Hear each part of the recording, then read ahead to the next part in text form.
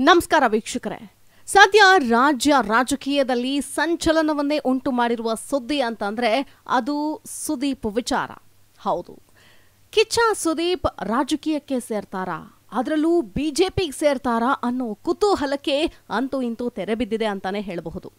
S ಮುಂದಿನ ವಿಧಾನಸಭೆ ಚುನಾವಣೆಯಲ್ಲಿ ಮುಖ್ಯಮಂತ್ರಿ ಬಸವರಾಜ ಬೊಮ್ಮಾಯಿ ಅವರಿಗೆ ನಾನು ಬೆಂಬಲ ನೀಡ್ತೀನಿ ಅಂತ ಕಿಚ್ಚ ಸುದೀಪ್ ಘೋಷಣೆ ಮಾಡಿದ್ದಾರೆ.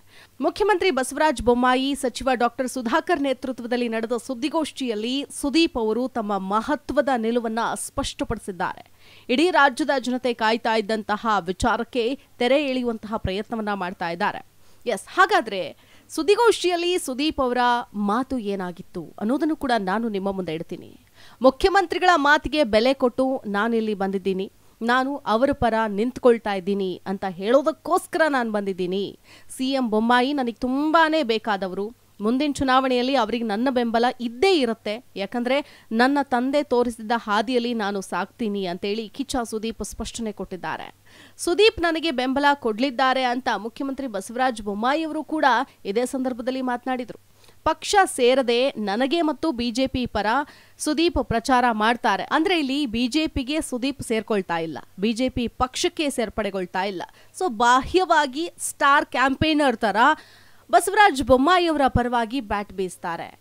ಇನ್ನು ಇದೇ ಸಂದರ್ಭದಲ್ಲಿ ಕೆಲವು ಶಕ್ತಿಗಳಿಗೆ ವೇದಿಕೆ, ಯಾರ ಪರ ನಿಂತ್ಕೊಳ್ತಾರೆ ಅನ್ನುವಂತಹ ಒಂದು ಕೆಲಸವನ್ನ, ಅಂದ್ರೆ ಯಾರ ಪರ ನಿಂತ್ಕೊಳ್ತಾರೆ ಅನ್ನುವಂತಹ ಒಂದು ಕುತೂಹಲ ಇತ್ತು. ಖಂಡಿತ ಪಕ್ಷದ ಪರವಾಗಿ ನಾನು ಕೆಲಸ ಮಾಡ್ತೀನಿ, ಆದ್ರೆ ಎಲ್ಲಾ ಕಡೆ ಹೋಗಿ, ಅಂದ್ರೆ ಆಗೋದಿಲ್ಲ ಅಂತ ಅವರು ಹೇಳುವಂತಹ ವ್ಯಕ್ತಿಗೆ ನಾನು ಬೆಂಬಲವನ್ನ ನೀಡ್ತೀನಿ ಅಂತ ಸುದೀಪ್ ಅವರು ಹೇಳಿದ್ದಾರೆ.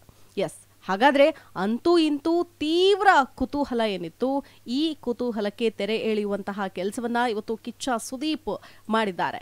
ಎಸ್, ಹಲವಾರು ಊಹಾಪೋಹಗಳು ಇದೇ ಸಂದರ್ಭದಲ್ಲಿ ಬಂದಿತ್ತು. ಸೊ ಈ ಎಲ್ಲ ಊಹಾಪೋಹಗಳಿಗೂ ಕೂಡ ಇವತ್ತು ಸುದೀಪ್ ತೆರೆ ಎಳೆದಿದ್ದಾರೆ.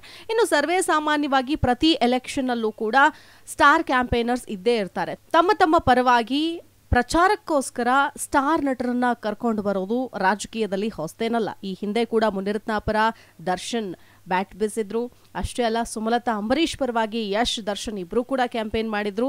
ಅನೇಕ ಸಂದರ್ಭಗಳಲ್ಲಿ ಅನೇಕ ಸ್ಟಾರ್ ನಟ, ನಟಿಯರು ತಮ್ಮ ತಮ್ಮ ರಾಜಕಾರಣಿಗಳು ಅಥವಾ ಯಾರು ತಮ್ಮನ್ನ ಕರೆಸಿಕೊಂಡು ಪ್ರಚಾರ ಮಾಡ್ಕೊಳ್ಬೇಕು ಅನ್ಕೊಳ್ತಾರೆ. ಸೊ ಅವ್ರ ಪರವಾಗಿ ಹೋಗಿ ಚುನಾವಣೆಯ ಸಂದರ್ಭದಲ್ಲಿ ಕ್ಯಾಂಪೇನ್ ಮಾಡೋದು ಸರ್ವೇ ಸಾಮಾನ್ಯ. ಸೊ ಇದು ಕೂಡ ಅದೇ ರೀತಿಯಾಗಿ ಅನ್ನೋ ಒಂದು ಸ್ಪಷ್ಟನೆಯನ್ನ ಇವತ್ತು ಕಿಚ್ಚ ಸುದೀಪ್ ಕೊಟ್ಟಿದ್ದಾರೆ.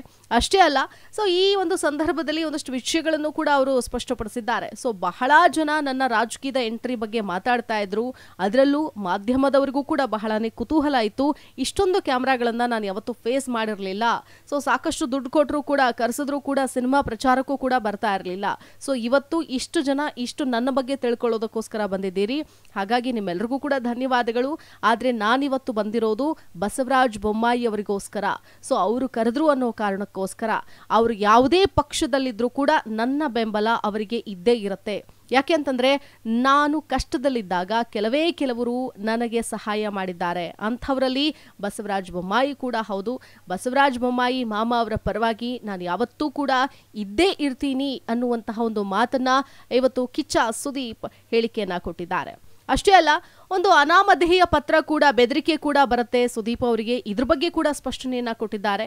ಇಂತಹ ಬೆದರಿಕೆ ಪತ್ರಕ್ಕೆ ನಾನು ಉತ್ತರ ನೀಡೇ ನೀಡ್ತೀನಿ. ಪತ್ರ ಬರೆದವ್ರು ಯಾರು ಅಂತ ಕೂಡ ನನಗೆ ಗೊತ್ತಿದೆ. ಆದರೆ ಅವರ ಬಗ್ಗೆ ನಾನು ಈಗ ಮಾತನಾಡೋದಿಲ್ಲ. ಚಿತ್ರರಂಗದಲ್ಲಿ ನನ್ನ ಕಂಡ್ರೆ ಆಗದವರೂ ಕೂಡ ಇದ್ದಾರೆ. ಅವರಿಗೆ ಅವರ ಮಾರ್ಗದಲ್ಲೇ ನಾನು ಉತ್ತರ ಕೊಡ್ತೀನಿ ಅಂತ ಖಡಕ್ ವಾರ್ನಿಂಗ್ ಕೂಡ ಇದೇ ಸಂದರ್ಭದಲ್ಲಿ ಕಿಚ್ಚ ಸುದೀಪ್ ಅವರು ಕೊಟ್ಟಿದ್ದಾರೆ. ಎಸ್, ಒಂದು ಅನಾಮಧೇಯ ಪತ್ರದ ವಿರುದ್ಧ ಒಂದು ಕೇಸ್ ಕೂಡ ದಾಖಲಾಗಿದೆ. ಇದು ಭಾರಿ ದೊಡ್ಡ ಮಟ್ಟದಲ್ಲಿ ಸದ್ದು ಮಾಡುತ್ತೆ. ನೋಡಿ, ಒಂದು ಕಡೆ ಬಿಜೆಪಿ ಸೇರ್ತಾರೆ ಅನ್ನೋ ವಿಷಯ, ಮತ್ತೊಂದು ಕಡೆ ಕಿಚ್ಚ ಸುದೀಪ್ ಅವರಿಗೆ ಅನಾಮಧೇಯ ಪತ್ರ, ಅದು ಕೂಡ ಬೆದರಿಕೆ ಪತ್ರ. ಈ ನಿಟ್ಟಿನಲ್ಲಿ ಅನೇಕ ವಿಚಾರಗಳ ಕುರಿತಾದಂತಹ ಒಂದು ಹೈಲೈಟ್ನಲ್ಲಿ ಇದ್ರು ಇವತ್ತು ಕಿಚ್ಚ ಸುದೀಪ್. ಈ ಎಲ್ಲ ರಾಜಕೀಯದ ಹೈಡ್ರಾಮಾಕ್ಕೂ ಕೂಡ ತೆರೆ ಎಳೆಯುವಂತಹ ಒಂದು ಪ್ರಯತ್ನವನ್ನ ಸುದ್ದಿಗೋಷ್ಠಿಯಲ್ಲಿ ಕಿಚ್ಚ ಸುದೀಪ್ ಅವರು ಮಾಡಿದ್ದಾರೆ. ಜೊತೆಗೆ ನಾನು ಯಾವ ಕ್ಷೇತ್ರದಲ್ಲೂ ಕೂಡ ಸ್ಪರ್ಧಿಸ್ತೀನಿ ಅಂತೇಳಿ ಟಿಕೆಟ್ ಕೇಳಿಲ್ಲ. ಟಿಕೆಟ್ ಕೊಡ್ತೀನಿ ಅಂದ್ರೂ ಕೂಡ ನಾನು ಸ್ಪರ್ಧೆ ಮಾಡೋದಿಲ್ಲ. ಸೊ, ನಾನು ಇನ್ನೂ ಅಷ್ಟು ದೊಡ್ಡವನಲ್ಲ ಅನ್ನುವಂತಹ ನಿಟ್ಟಿನಲ್ಲಿ ಇವತ್ತು ಕಿಚ್ಚ ಸುದೀಪ್ ಅವರು ಮಾತನಾಡಿದ್ದಾರೆ. ಸೊ, ಹಾಗಾಗಿ ಅಂತೂ ಇಂತೂ ಬಾಹ್ಯವಾಗಿ ಬಿಜೆಪಿಗೆ ನನ್ನ ಬೆಂಬಲ. ಅದರಲ್ಲೂ ವಿಶೇಷವಾಗಿ ಬಸವರಾಜ್ ಬೊಮ್ಮಾಯಿ ಅವರಿಗೆ ನನ್ನ ಬೆಂಬಲ ಇದ್ದೇ ಇರುತ್ತೆ ಅಂತ ಹೇಳೋ ಮೂಲಕ ರಾಜಕೀಯ ಸೇರ್ಪಡೆಗೆ ತೆರೆ ಎಳೆಯುವಂತಹ ಪ್ರಯತ್ನವನ್ನ ಇವತ್ತು ಕಿಚ್ಚ ಸುದೀಪ್ ಮಾಡಿದ್ದಾರೆ. ಪ್ರತಿಕ್ಷಣದ ಸುದ್ದಿಗಾಗಿ Zee Kannada news app download ಮಾಡಿ. Live TV latest updates entertainment lifestyle technology ಸುದ್ದಿ ನಿಮ್ಮ ಅಂಗೈಯಲ್ಲಿ.